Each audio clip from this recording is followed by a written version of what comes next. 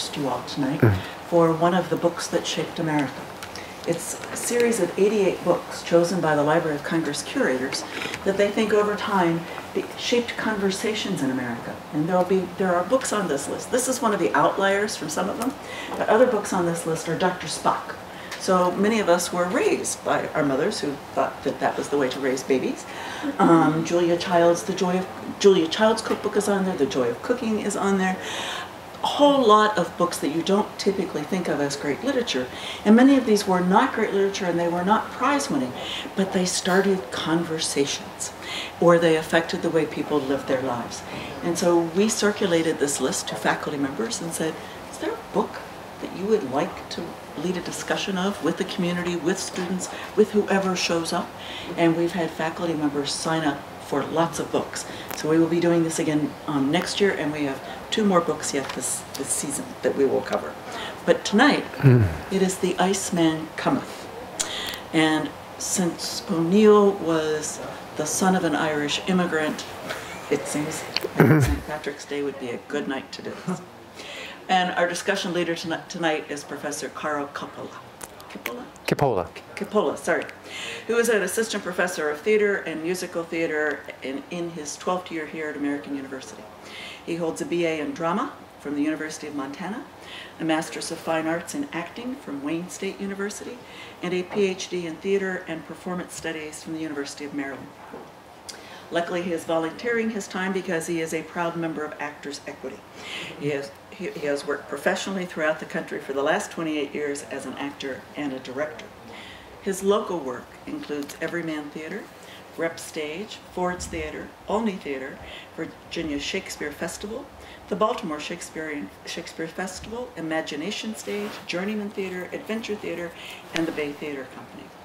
For AU, he has directed The Alchemist, Guys and Dolls Company, the 25th Annual Putnam County Spelling Bee, Oklahoma, Tartuffe, Country Wife, Urinetown, Hamlet, The Mystery of Edward Drood, Of Thee I Sing and Kiss Me Kate. And later this month, um, Maxim Gorky's The Lower Depths will be performed at AU's Greenberg Theater on March 26th through 28th.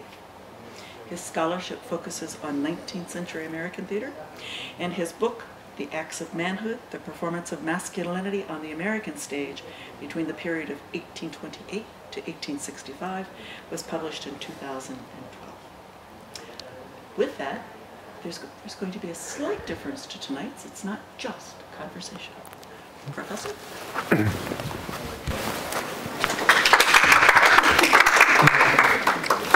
Thanks. All right. So, um, we're going to intersperse some scenes from the play uh, throughout the, the talk this evening, just so you get a little bit of variety. Uh, my scene partner will be Jordan Halsey, uh, who will be, uh, he's a, a, current AU student who will be graduating in 2016. Um, so, the setting is a dive bar in Greenwich Village in the summer of 1912. Um, this is a scene between an older man and a younger man. I will be playing the older man. Uh, the older man is Larry Slade, who's a regular in this bar. Uh, the younger man, Don Parrott, is a newcomer. Uh, he and his mother were part of the anarchist movement, um, and there was a bombing, um, and most of that group ended up being arrested, and somebody on the inside informed on them. The newcomer has come to the bar looking for help from the older man. Um, the older man was a former anarchist. Uh, he was a former mother of the young man's mother and uh, was a former father figure to that, to the younger man. So, our first scene.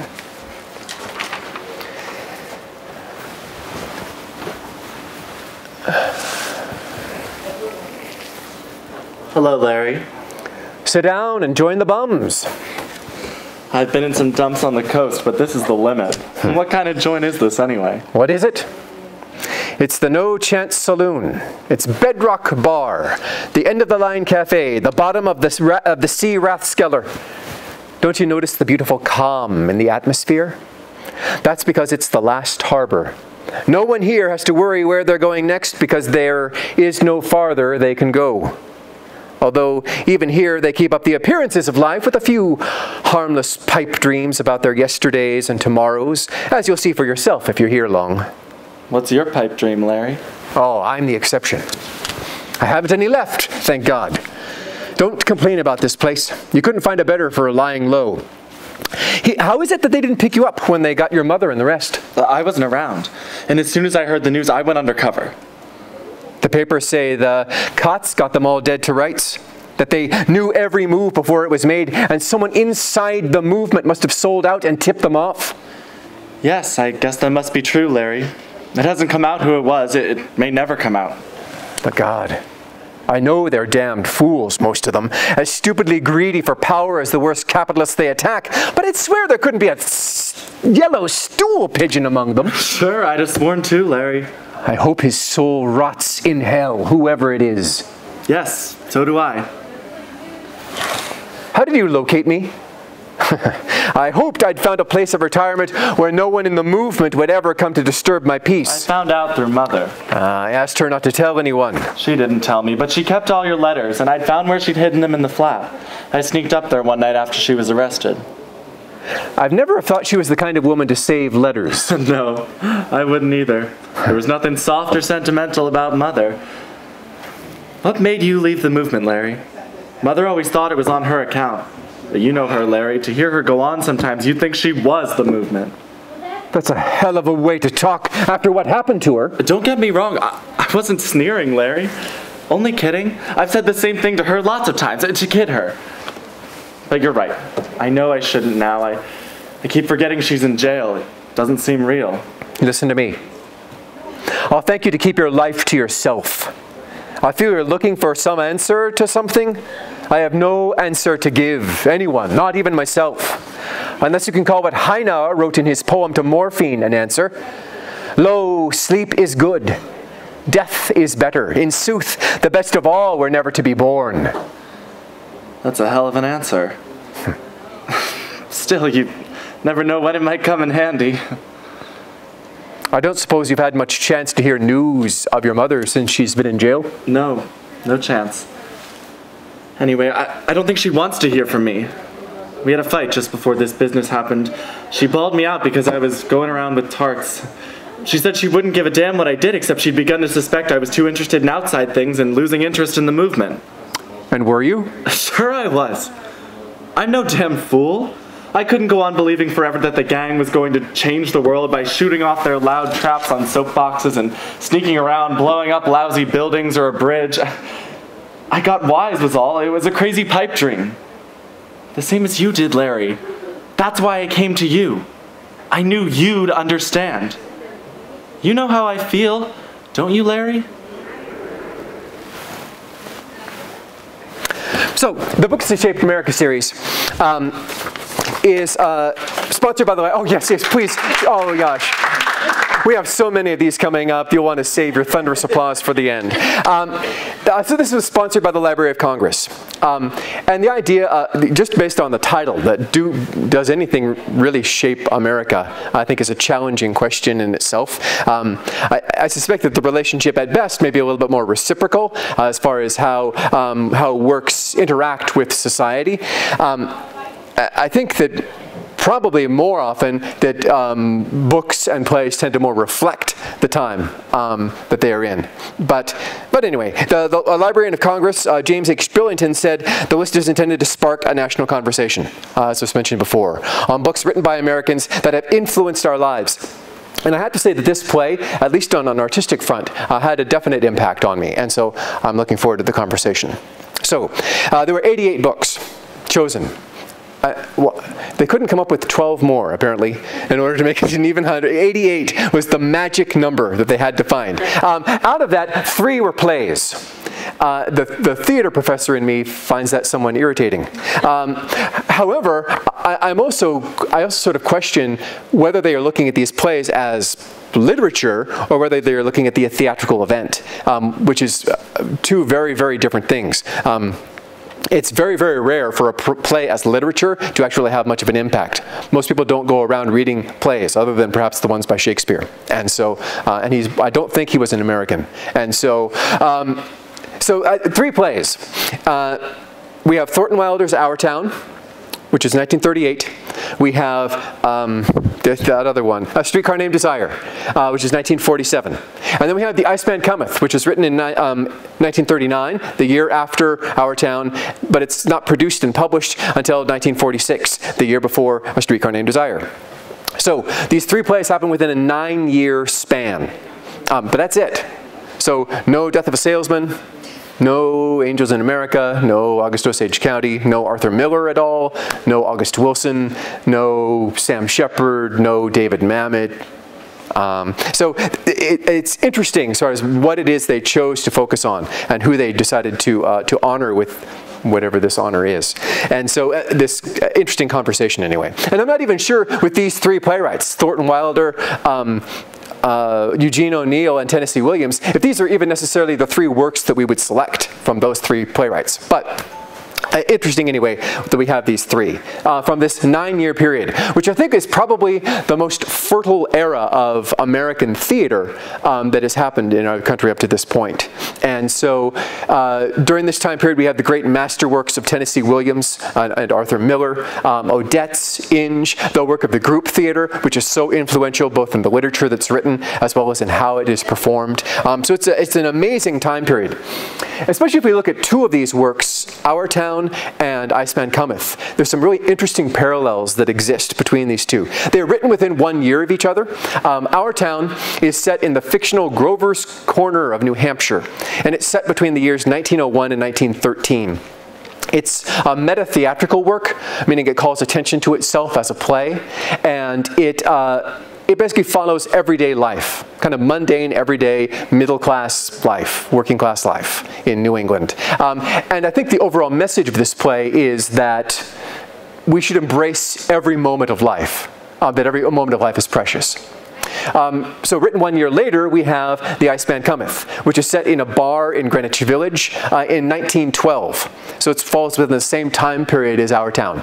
Um, it's hyper-realistic, um, and essentially the message of of Iceman Cometh is that we need our illusions in order to survive in what has become a cruel and meaningless world. So we have two radically different worldviews happening at exactly the same time, as far as when they're written and the time that they're looking back on, kind of the, the youthful moments of the playwrights that created them. So it's interesting to sort of look at that. So we have these. Out, out of curiosity, um, and with no judgment at all, has anybody actually ever read this whole play or seen a production of it? Wow, good. Wow, gold stars for you. Um, so it's. Uh, it was just pr produced off Broadway. Uh, it closed day before yesterday. Um, just produced off Broadway with the Brooklyn Academy of Music. It starred uh, Brian Dennehy and Nathan Lane, and uh, its running time was four hours and 45 minutes which is almost too much of a good thing. That is a whole lot of O'Neill. Um, so it is, a, it is a very, very long play. Um, if you do the script uncut, it really can't be done in any shorter amount of time than that. Um, so it tends to run between four and a half and five hours, um, which is sadly not that unusual for O'Neill. But all right, uh, and, and uh, so I'm going to look at a, another scene. Uh, this will be with the same pair that we saw the first time, the older man and the, uh, the younger man. So we'll see what they have to say for themselves now. Oh, they're going to talk about the character of Hickey. Um, Hickey is a traveling salesman, and he is somebody who is known for bringing like a good time to the bar. But he has shown up this time sober and um, vowing that he's going to change everyone. So.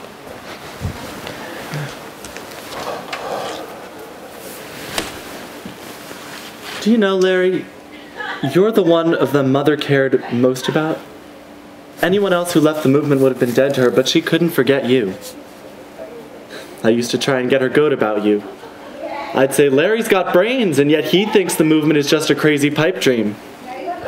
She'd blame it on booze getting to you. She'd kid herself that you'd give up the booze and come back to the movement tomorrow. She'd say, Larry can't kill in himself a faith he's given his life to, not without killing himself. How about it, Larry? Was she right? I suppose what she really meant was come back to her. She was always getting the movement mixed up with herself. But I'm sure she must have really loved you, Larry. As much as she could love anyone besides herself. But she wasn't even faithful to you, was she? That's why you finally walked out on her, isn't it?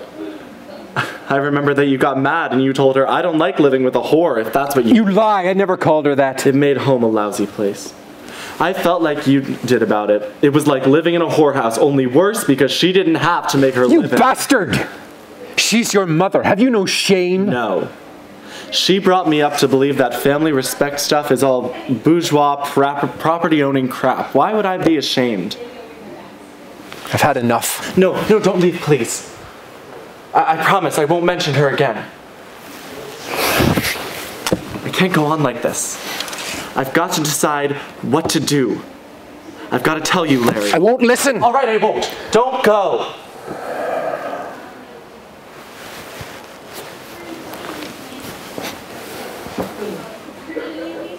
Who do you think you're kidding?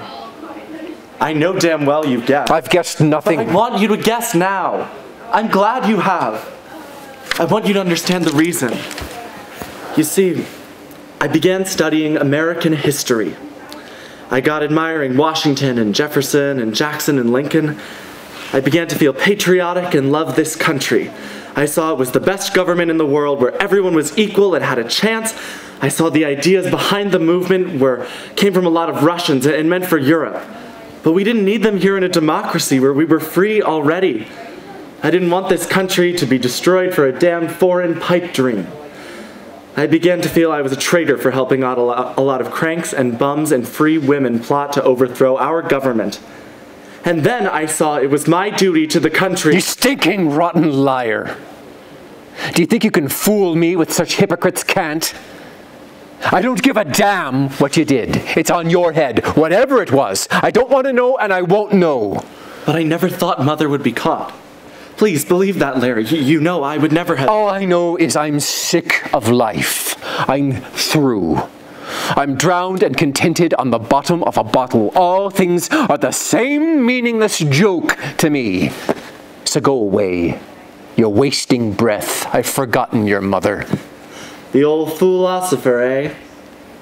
You lousy old faker. You old bastard, you'll never die as long as there's a free drink of whiskey left. Look out how you try to taunt me back into life. I warn you. I might remember the thing they call justice there and the punishment for.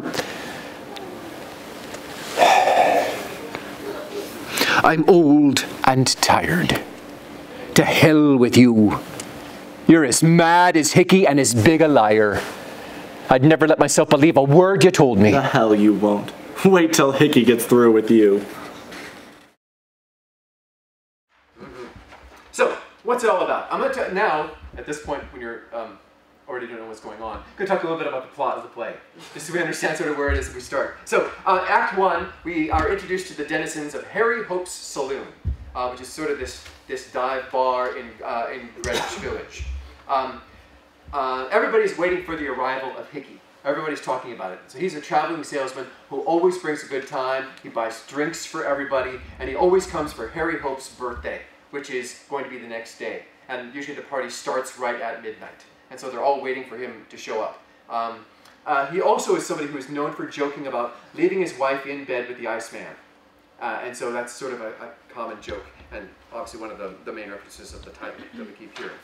Um, each of the inhabitants reveals the pipe dream that sustains them. Uh, and so we have a fallen carney, a police officer, a law student, a colored gambling house operator, military leaders, writers, anarchists, pimps, and whores. Um, this odd mixture of people, all of whom are dreaming either that they are better than they are somebody else, or imagining a tomorrow where their lives are going to be better than they are now. Um, I want to talk a little bit more about the character of Larry Slade, the older character that I play.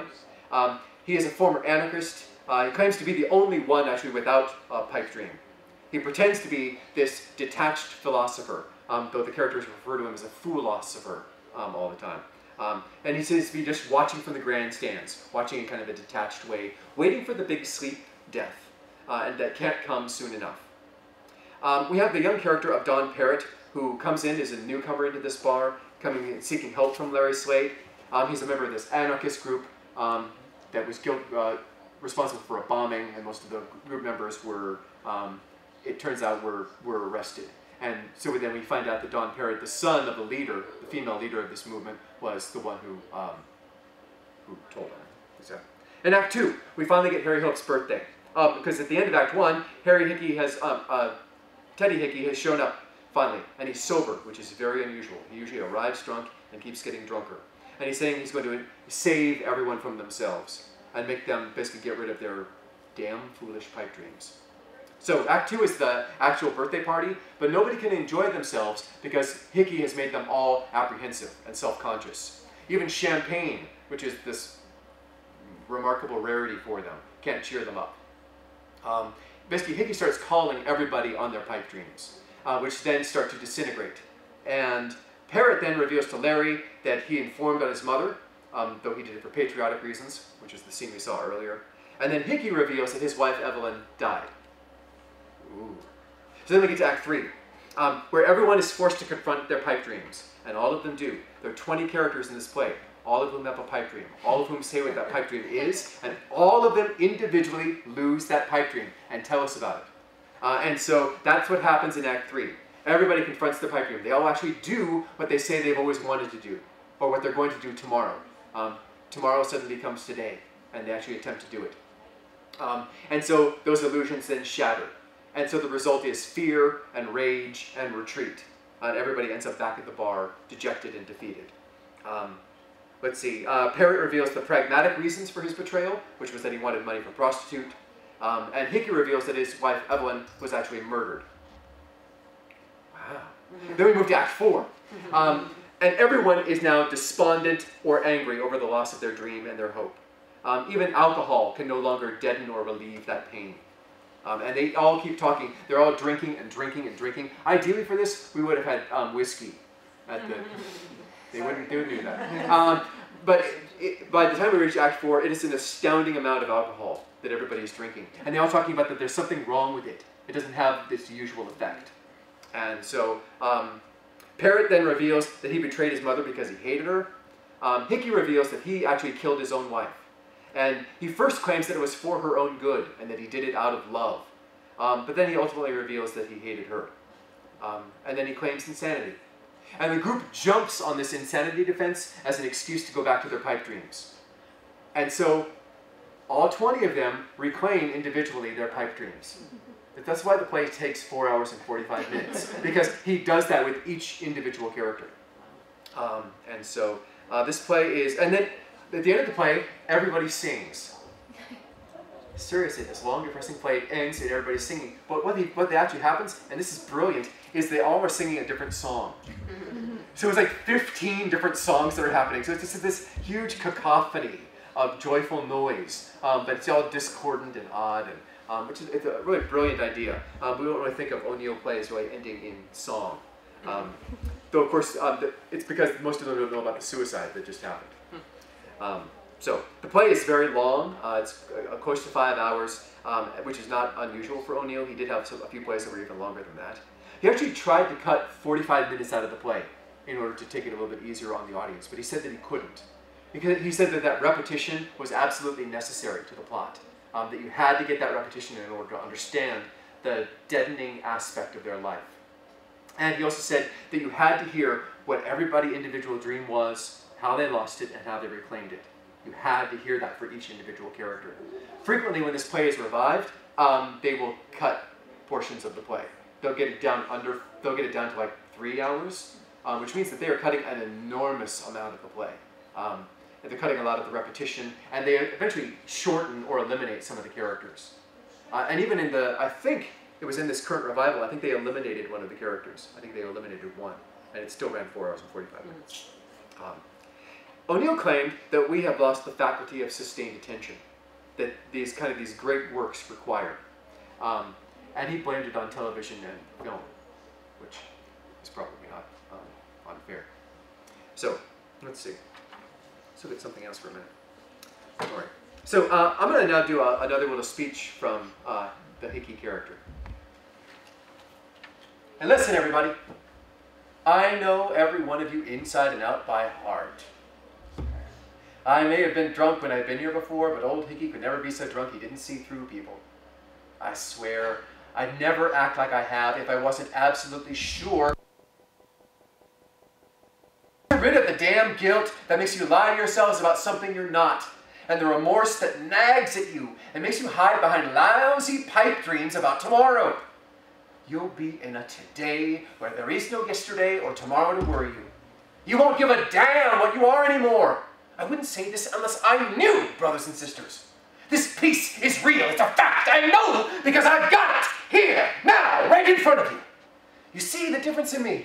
You remember how I used to be, even when I had two quarts of rot gut under my belly and joked and sang Sweet Adeline, I still felt like a guilty skunk. But you can all see that I don't give a damn about anything now. And I promise you, by the time this day is over, I'll have every one of you feeling the same way. okay. So, The Iceman Cometh in production. Uh, we have here the 56 re- uh, revival. So, uh, the play is again written in 1939, um, and but then again not produced until 1946. Um, it is dir- directed by a guy named Eddie Dowling, who three years earlier directed and starred in Tennessee Williams' The Glass Menagerie, um, and uh, designed by Robert Edmund Jones, who is the greatest designer of this era. Uh, Marlon Brando famously auditions for this play, and he turns down the role of the young man, Don Parrott, um, because he said he thought the play was written poorly. Uh, he then, the next year, does a play called Streetcar Named Desire, another one on this list. And I heard he did fairly well for himself after that. So, um, kind of interesting. Um, Iceman Cometh was the last play produced on Broadway in O'Neill's lifetime. Um, the original production was ultimately really not a disaster. It was okay. The man who played Hickey, an actor named James Barton, uh, was basically just ill-suited for the role. His voice kept giving out, and Hickey has what is roughly a 25-minute monologue at the end of the play. Um, and so, uh, and also his emotional complexity that he was capable of, because he was somebody who was known for playing a lot of comic roles. Um, uh, he basically just wasn't up to playing the emotional demands of the role either. So uh, the play was did okay, but wasn't considered to be a, a great work. Um, shortly after O'Neill dies, uh, a director named Jose Quintero goes to O'Neill's widow and asks if he can do The Iceman Cometh. It's only been 10 years since it's been on Broadway, um, and so it's unusual to revive a straight play that soon. But um, she gives him permission, and uh, a young Jason Robards um, stars in that production. Um, and he was far too young for the role at the time, um, but the play becomes an enormous hit. And then Jose Quintero, the director, and Jason Robards then become known as these great interpreters of O'Neill. Um, and so uh, it was produced at a very intimate 200 seat Greenwich Village Theater, um, which used to be a nightclub. So it's this ideal location for a play that's set in a bar. That's really nice about staging scenes from it too. Uh, all they're all sitting at a table. that's nice. Um, uh, it ran 565 performances, which is the longest run for an O'Neill play before or since. Um, I, I think in many ways, in 1956, audiences were ready for a little post-war despair and um, existentialism. This is the same theatrical season that Samuel Beckett's Waiting for Godot um, plays in New York for the first time. So, um, so it sort of uh, hits kind of the right moment. Um, and this revival of Iceman Cometh really sparks a revived interest in O'Neill himself.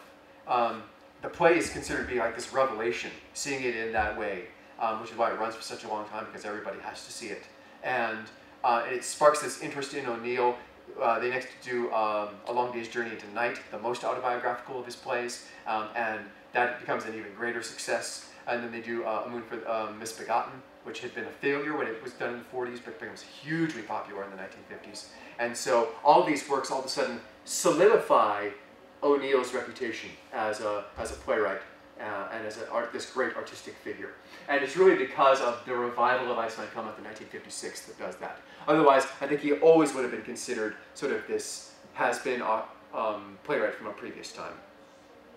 Um, there is a, an off-Broadway revival in 1973 with James Earl Jones as Hickey. Um, there's a 1985 uh, off-Broadway revival that is again directed by Jose Quintero and again stars Jason Robards. So almost 30 years after this production, they do it again with much less success. Um, in 1990, there's a Chicago production with the Goodman Theater uh, with Brian Dennehy as, um, as Hickey, and uh, so that is considered to be a, a, really successful production. Then in 1998 and 99, uh, a production goes from London to Broadway with Kevin Spacey, uh, and the play wins the Tony Award for Best Revival of a Play. Um, in 2012, Chicago's Goodman Theater does it again, this time with Brian Dennehy playing the role of Larry Slade that I have been reading, um, and uh, Nathan Lane playing the role of Hickey, who was considered to be an odd choice for that role because he's primarily known for playing comic roles, uh, but he really, apparently brings this great life and um, uh, kind of life at the party and great um, command as an entertainer uh, to the role. Uh, and that production just closed off Broadway. Well, it was a planned six-week run, so it didn't close because of lack of success. Though I would imagine that um, because it was running four hours and 45 minutes, um, people's attention span for that, that's probably more than twice as long as most people are willing, willing to sit for a play now. Um, so, yeah, so it just closed uh, day before yesterday. Um, it was filmed twice in 1960 as a TV play of the week um, that starred uh, Jason Robards, four years after he did this revival. Uh, and Robert Redford, in one of his very first film roles, plays um, the Don Parritt character. Um, then it's filmed again in 1973 with Lee Marvin as Hickey, and uh, Jeff Bridges, in one of his first film roles, plays Don Parritt. Um, and it's also the final film for Fredric March and Robert Ryan. Um, it's a four-hour film, um, so they cut almost an hour out of it. Out of it. Um, the, the previous 1961 was a, a three and a half hour film, so they, they cut um, even more. So yeah, it's a, a, a, lot of a lot to love. So, all right. Okay, there's the image from the original Broadway production. Uh, and there's me, Marvin. All right, so uh, we're going to do another scene from the, the older man and the younger man, um, Don Parritt and Larry Slade. Yeah.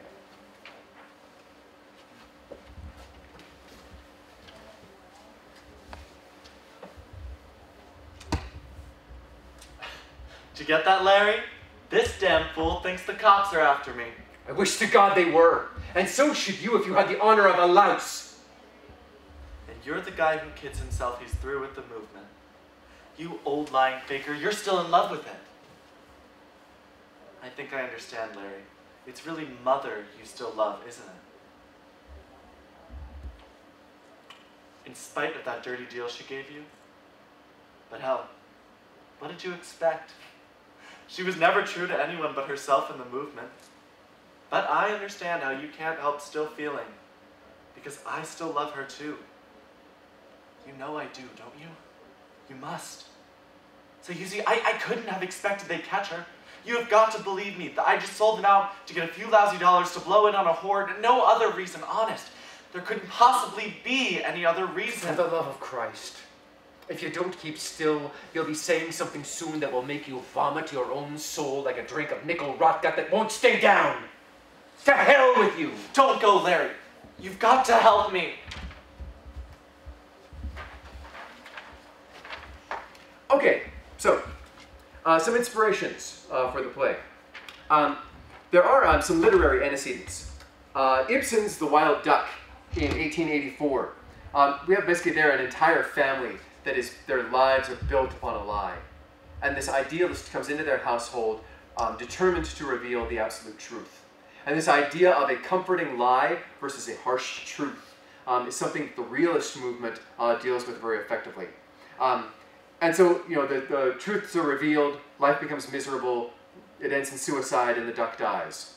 Uh, and so, um, uh, the play that probably then has the greatest impact is Maxim Gorky's The Lower Depth in 1902 which is a masterwork of Russian socialist realism.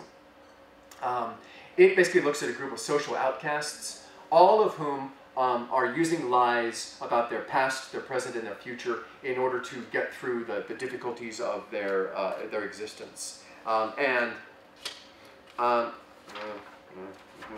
um, this strange spiritual pilgrim comes into their environment um, and basically brings them a sense of greater hope also largely through lies.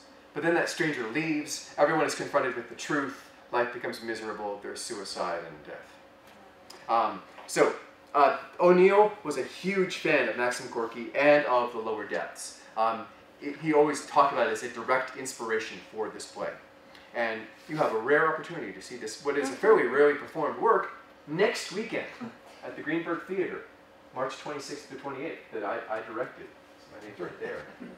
uh, that I, I directed, uh, and they are in rehearsal right now without me. And I'll be going to rehearsal when this is done. Um, and so, uh, so yeah, so it's uh, interesting to sort of look at, at uh, and again, it's that idea of, of I mean, this is a, uh, something that is also a pervasive theme in the lower depths, is this idea of the lies that people use in order to survive. Um, and so, interesting. So the is, uh, it's set in 1912, uh, uh, Eugene O'Neill's uh, Iceman Cometh. It's set in, uh, 1912, um, which is the year of his suicide attempt. Uh, he attempted to combine sleeping pills and whiskey, which is not good, typically. Um, the title, Iceman Cometh. We have the archaic cometh, um, which is meant as both a kind of a biblical as well as a poetic reference. Um, the um, death cometh, cometh to us all. Um, but we also have, um, it's also based on a dirty joke of the time period. So a man calls upstairs to his wife, uh, Has the Iceman come yet? And the wife yells back down, No, but he's breathing hard. so we have here in the title this mixture of the exalted and the vulgar that exists. Um, and uh, so I think that's fascinating as well. Uh, the Harry Hope Saloon is based on a couple of different, about two or three different bars in New York, uh, in the Greenwich Village area that existed during that time period. Um, the characters, many of them are based on real life figures of this time period. Though I'm not going to tell you about most of them because they're, nobody really cares. Um, but O'Neill said of them, basically, I knew them all. I've known them all for years. Um, a couple that I will mention, there is a character named Jimmy Tomorrow, which is based upon James Findlater Byth, who was uh, his father, James O'Neill's press agent, and he was actually the one who sort of rescues him, uh, Eugene O'Neill, from his suicide attempt. Uh, Byth then, the following year, in 1913, commits suicide himself by jumping off the fire escape of the bar, which is exactly how the Don Parritt character dies. Um, Don Parritt is uh, the young man is based upon a, character named Donald Vose, who was the son of a woman anarchist um, who was part of a group that was responsible for the McNamara bombing in L.A. And he actually informed on his own mother, and so that was part of that. Hickey killing his wife is based on um, a prominent newspaper editor of the time period. And in 1918, um, Charles E. Chaplin, uh, no relation to his dreaded son-in-law, um, but Charles Chaplin shot his wife in the head um, and claimed that he did it for her own good and out of love for her. Um, and this interesting idea of guilt and hatred of the wife-mother figure is something that you see, it's a common recurring motif in a lot of O'Neill's work. Uh, he had a very troubled relationship with his mother. Um, and so here, the two mother figures, neither of whom appear on stage, uh, one is dead, and one they basically talk as figuratively being dead. Uh, let's see. Uh, there's also sort of the naming of some of the characters. We have Harry Hope. Um, obviously, people come to the bar for Hope. Don Parritt. Uh, Parritt, he kind of parrots or echoes the Hickey storyline. And he's also a character who basically can't think for himself. And he can only basically parrot what it is he's heard from other people. All right, we have another little scene from our dynamic duo.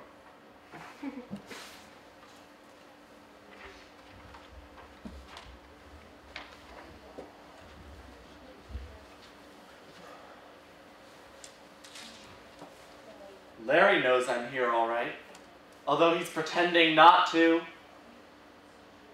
He kept himself locked in his room until a while ago, alone with a bottle of booze, but he couldn't make it work. He couldn't even get drunk. He had to come out. There must have been something there he was even more scared to face than he is Hickey and me. I guess he got to looking at the fire escape and thinking how handy it was if he was really sick of life and only had the nerve to die.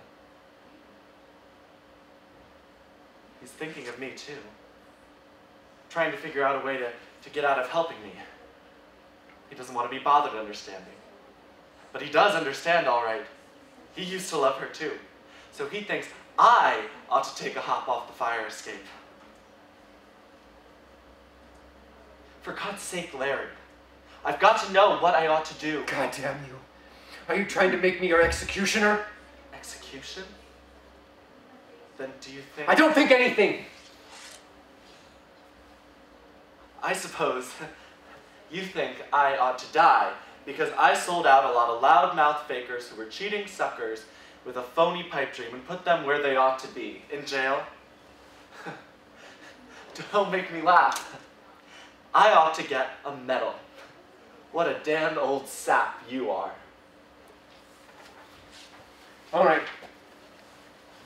So, um, a couple of things. Uh, this play does follow the what nobody know the Aristotelian unities of time, place, and action.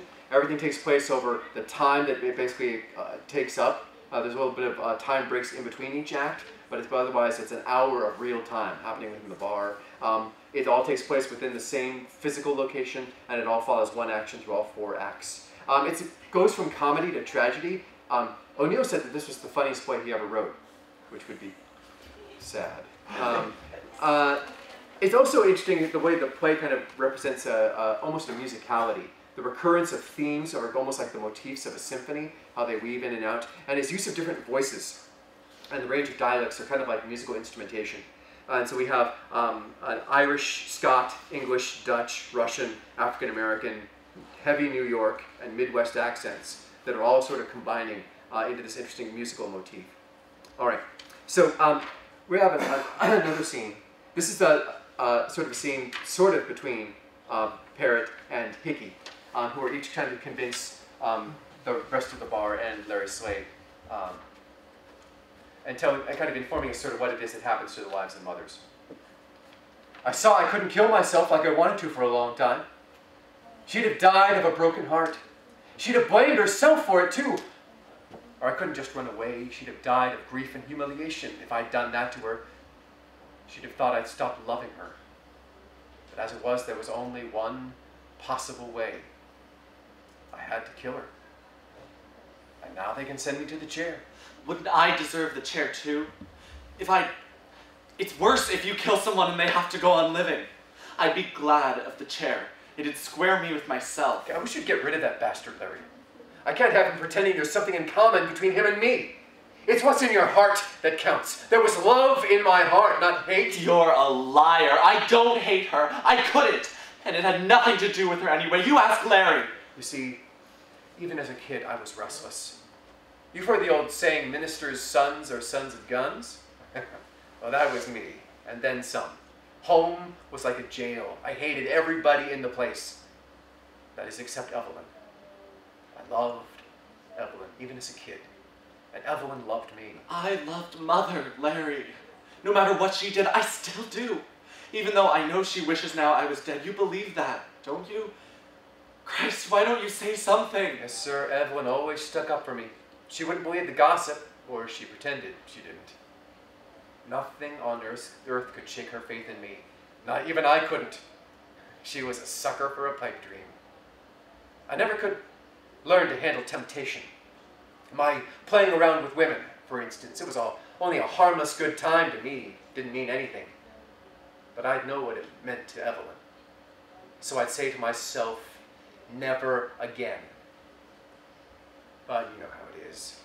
Traveling around the damn hotel rooms, I'd get seeing things in the wallpaper. I'd get bored as hell, lonely and homesick. but at the same time, sick of home. And Evelyn always knew about the tarts I'd been with when I came home from her trip. She'd kiss me and look in my eyes, and she'd know. She forgave me, even when it all had to come out in the open. I picked up something from a tart in Altoona. The quack I went to got all my dough, and then he told me I was cured, but I wasn't. And poor Evelyn. But she did her best to make me believe she fell for my lie about how traveling men get things from drinking cups on trains. anyway, she forgave me. The same way she forgave me every time I turned up after a periodical drunk. I could see disgust having a battle in her eyes with love. Love always won. She'd make herself kiss me as if I had, as if nothing had happened, as if I'd just come home from a business trip. I suppose you think I'm a liar. That no woman could have stood all she stood and still love me so much. That it isn't human for any woman to be so pitying and forgiving. Well, I'm not lying. And if you had ever seen her, you'd realize I wasn't. It was written all over her face sweetness and love and pity and forgiveness. No, wait, I'll show you. I, I always carry her picture. No, I'm, I'm forgetting. I, I tore it up afterwards. I didn't need it anymore. I burned up Mother's picture, Larry. Her eyes followed me all the time. They seemed to be wishing I was dead. Christ, I loved her so. But I began to hate that pipe dream. I even caught myself hating her for making me hate myself so much. I got. So sometimes when she'd kiss me, it was as if she did it on purpose to humiliate me, as if she'd spit in my face. But all the time, I saw how crazy and rotten of me it was. And it made me hate myself all the more. And as the time got nearer to when I was come here to do for my drunk around Harry's birthday, I got nearly crazy. I kept swearing to her every night that this time I really wouldn't. Until I made it a real final test to myself and to her. And she kept encouraging me and saying, I can see you really mean it now, Teddy. I know you'll conquer it this time and we'll be so happy, dear. And she'd say that and kiss me. I'd believe it too. Then she'd go to bed. And I'd get thinking how peaceful it was here. Sitting around with the old gang, getting drunk and forgetting love. Joking and laughing and singing and swapping lies. And finally I knew I'd have to come. And I knew if I came this time, it was the finish. I'd never have the guts to go back and be forgiven again, and that would break Evelyn's heart because to her, it would mean I didn't love her anymore. That last night, I'd driven myself crazy, trying to figure some way out for her. I went in the bedroom. I, I was going to tell her it was the end. But I, I couldn't do that to her. She was sound asleep. I thought, God, if she'd only never wake up, she'd never know. And then it came to me. The only possible way out for her sake. I remembered I'd, I'd, given her a gun for protection while I was away, and it was in the bureau drawer. She'd never feel any pain, never wake up from her dream. So I killed her. I may as well confess, Larry. There's no use lying anymore. You know, anyway, I didn't give a damn about the money. It was because I hated her. And then I saw I'd always known that was the only possible way to give her peace and free her from the misery of loving me. I felt as though a ton of guilt was lifted off my mind. I remember I stood by the bed and suddenly I had to laugh. I couldn't help it. And I knew Evelyn would forgive me. I remember I heard myself speaking to her as if it was something I'd always wanted to say. Well, you know what you can do with your pipe dream now, you damn bitch! No, I never. Yes, that's it.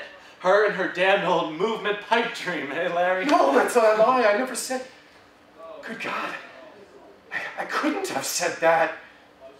If I did, I'd, go, I'd gone insane. Why, I loved Evelyn better than anything in life. Boys, you've known old, old Hickey for years. You know I'd never. You know, I must have been insane, don't you? All right, we're so near the end. So the theme: um, man cannot live without illusion. Um, he needs his pipe dream. The idea of the term pipe, pipe dream actually comes from the idea of kind of an unrealistic hope or fantasy that comes from smoking an opium pipe, um, uh, which is uh, a, a neat term that starts in the 1880s in Chicago, of all places, um, where the term comes from. Um, the phrase is used many, many, many times throughout the play. One cynical reviewer said that if you eliminated those two words, the play would be an hour shorter. uh, I, I, don't know if that's true. But, um, the idea of the pipe dream sustains life and hope. And it's also about the idea of tomorrow and what it is that that represents. That I will get sober tomorrow. I will get my job back tomorrow. I will finally go outside tomorrow. Uh, in many ways, it's sort of like Annie. I love you tomorrow. You're always a day. So, um, there's also a, a, lot of religious symbolism that exists in this play. Um, at Harry Hope's birthday party, Hickey is at the center of the table. There are 12 people at the table around him, uh, and they're all drinking wine. Uh, and the way that Eugene O'Neill sets it up in his stage direction, he sets it up physically so that it is going to look like Da Vinci's Last Supper. Uh, the Don Parritt character Um, is listed 12th uh, among the characters in the list of characters, uh, as Judas is listed as the 12th disciple. Um, he betrays for money. Um, the Christ or Hickey figure reads his mind and his motives. Um, and Parritt even directly compares himself to Judas, and then he commits suicide at the end. So we have one last brief scene where we see the ending of the old man and the young man relationship. We're basically watching, I basically picked out everything that is his story. Um, because with a four hour and 45 minute play, um, the, the, the advertisement said we were going to do a staged reading of the play, um, which sadly we would not finish until tomorrow breakfast.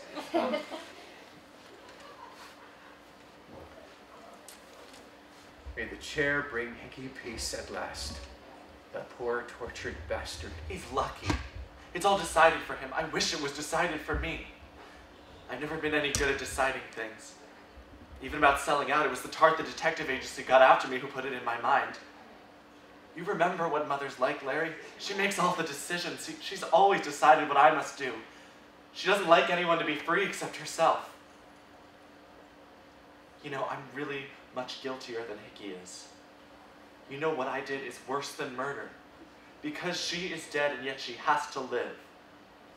For a while, but she can't live long in, ja in jail. She loves freedom too much. And I can't kid myself like Hickey that she's at peace. As long as she lives, she'll never be able to forget what I've done to her, even in her sleep. She'll never have a second's peace. Jesus, Larry, can't you say something? Go! Get the hell out of life, goddamn you, before I choke it out of you! Go up! Thanks, Larry. I just wanted to be sure.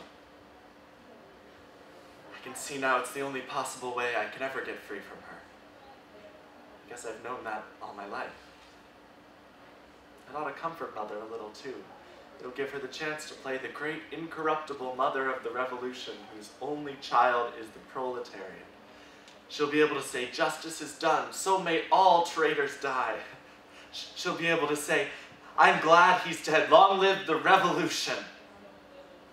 You know her, Larry, always a hand. Go, for the love of Christ, you mad, tortured bastard. For your own sake. Jesus, Larry. Thanks. That's kind. I knew you were the only one who could understand my side Okay, so um, we, there's a difficulty in evaluating plays out of this period, and especially of O'Neill. Um, the play contains world-weary, cynical, detached, ironic people. But O'Neill does not actually write in a detached, weary, cynical, ironic way. Uh, O'Neill wears his heart on his sleeve. Uh, he says what he means with a heartbreaking sincerity. And I think that that sincerity, um, that level of kind of this bald sincerity makes us uncomfortable. Um, and so we think of his work as being outdated, and we tend to reject it.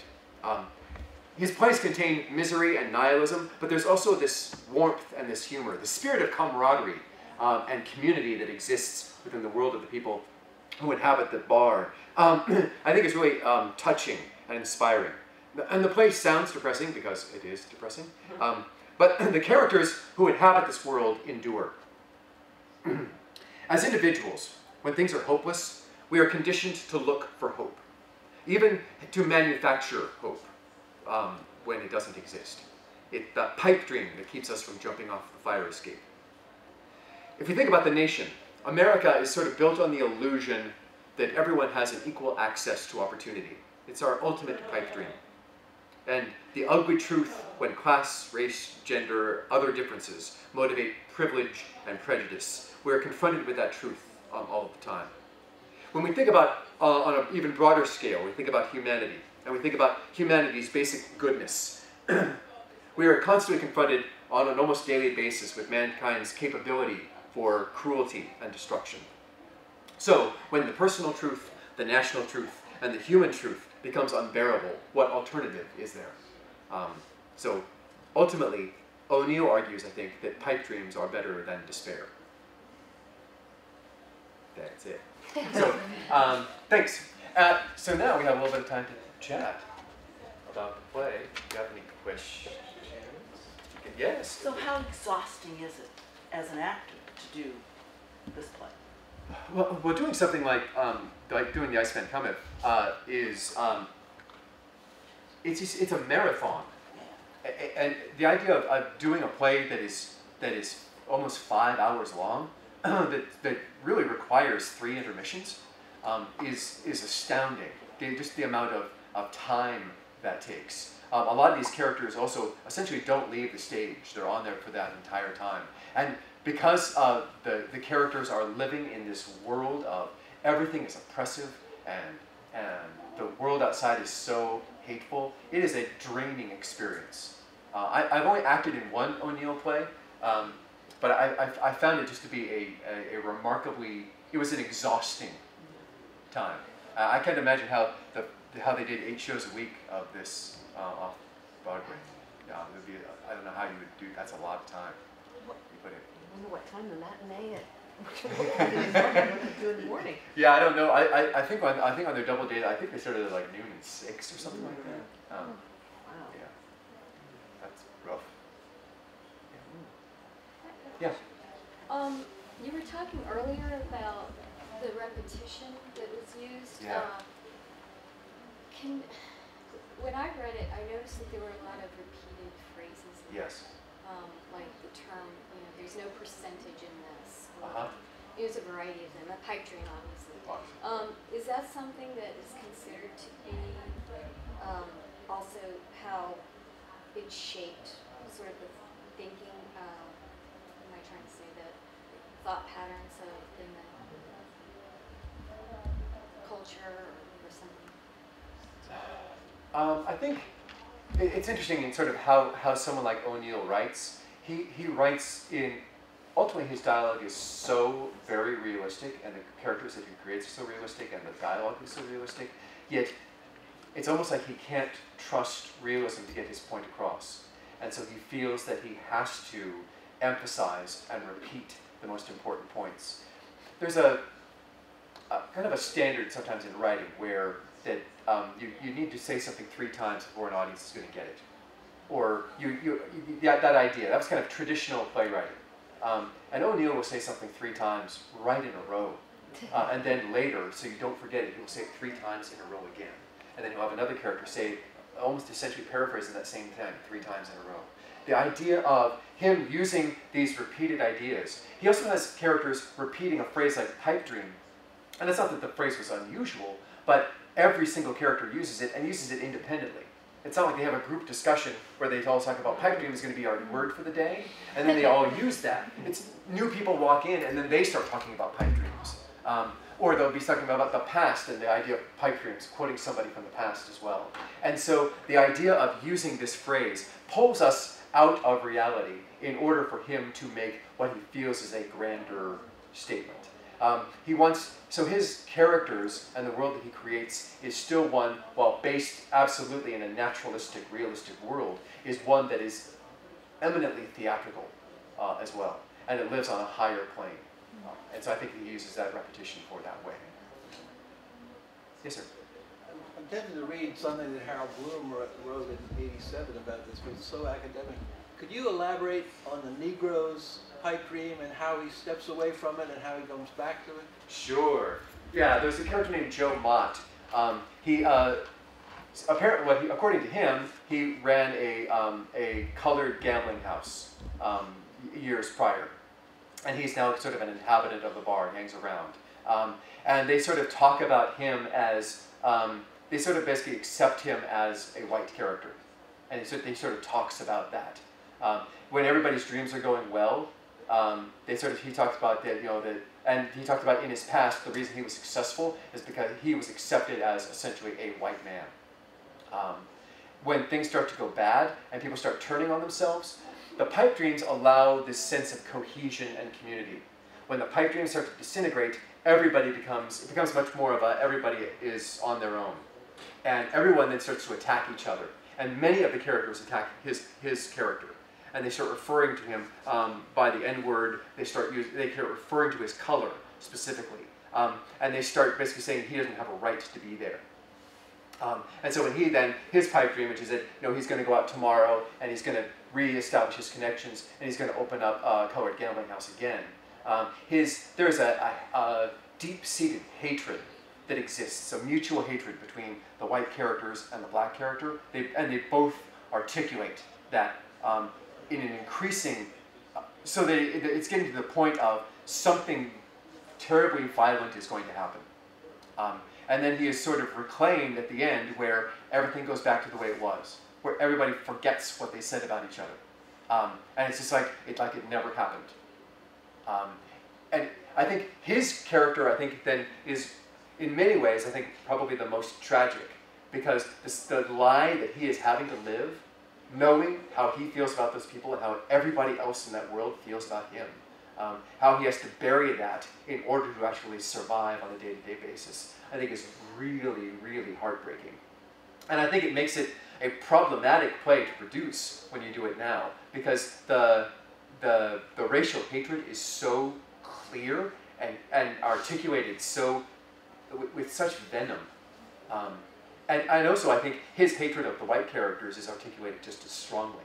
Um, he's not treated as a victim uh, in any way, um, because he always, uh, when he's attacked, he always stands up and speaks back strongly, forcefully, and articulately, articulately back to the people. But uh, yeah, it's a fascinating character. Yeah. Yeah. Isn't there also a bit of misogynistic um, ten, I mean, thread running? yeah, Well, I mean- there's a lot. Well, the three the three female characters in the play are, are prostitutes, um, and there's an interesting gradation of prostitution that exists because they want to be referred to as tarts, um, and they get very very angry if they're called whores, um, and that sort of goes along the pipe dream thing as well. One of the bartenders of the bar um, is their pimp, um, and he does not like being called a pimp. He just sort of looks after them. And there's sort of, it's more of a brother-sisterly relationship. Um, and they're warm and kind and attentive to each other. Once the pipe dream goes away, it's much more of a, where's my money, and I'll beat you if you don't bring me more money. Um, and they turn, then they turn into pimps and whores. When the pipe dream is reestablished, they shift back again. And they are, they're, well, they're just tarts.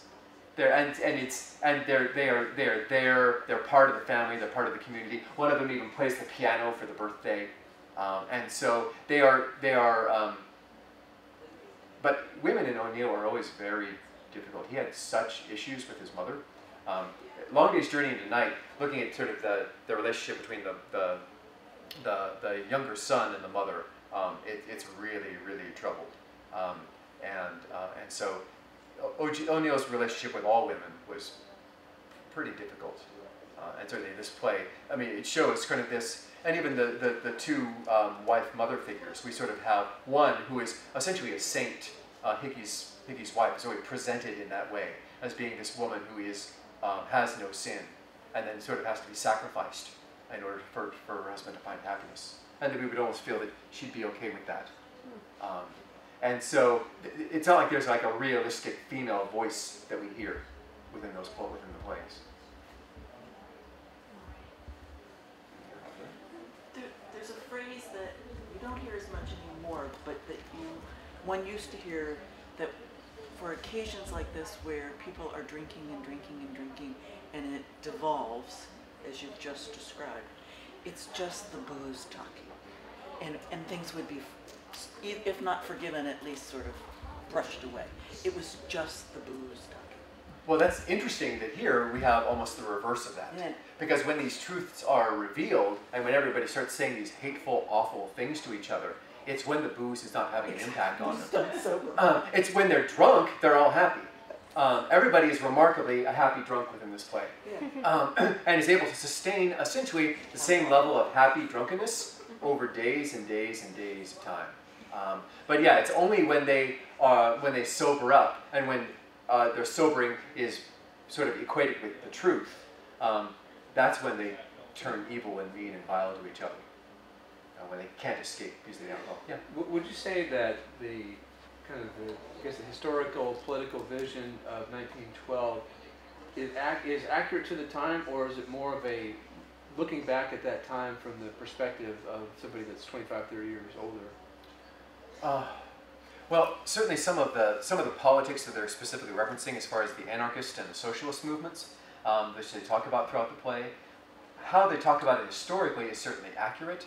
It seems like the viewpoint toward them feels like someone looking. It seems like an older man looking back on his innocent youth.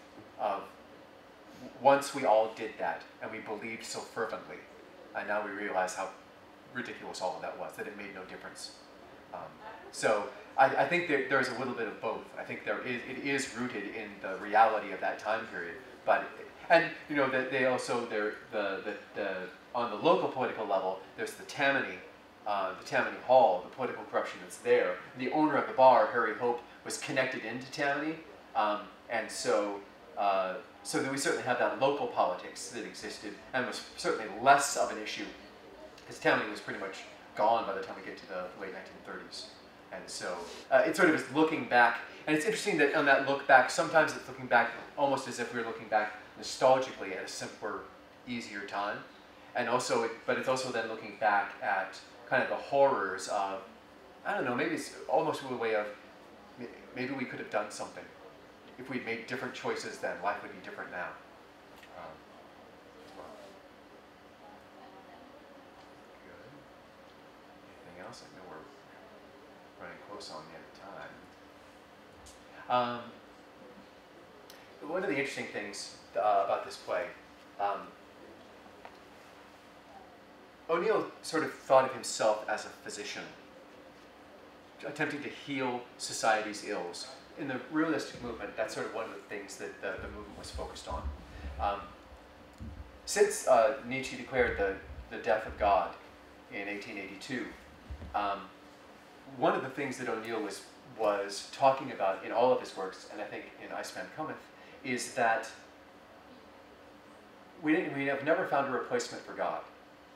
Uh, materialism doesn't do it. Um, uh, and so that idea of, of we need something. Um, this play reveals that, that desperate need of having something to believe in and that hope that tomorrow is somehow going to be better. What we see in these characters is we see very clearly that it is never going to be better. It is, they are lying to themselves, they are lying to each other. They are going to be worse tomorrow and worse the day after that, and they're all going to die soon, and nobody's going to care. Um, and I think that's revealed very clearly in the play. But in order to survive, those characters have to keep lying to each other. And that idea of what are we going to find to replace faith? We don't have that faith anymore. We only have lies if we're going to survive. Yay! That's why the Irish drink so much. All right. Thank you. Guys. Thanks so much for everybody. Thank you.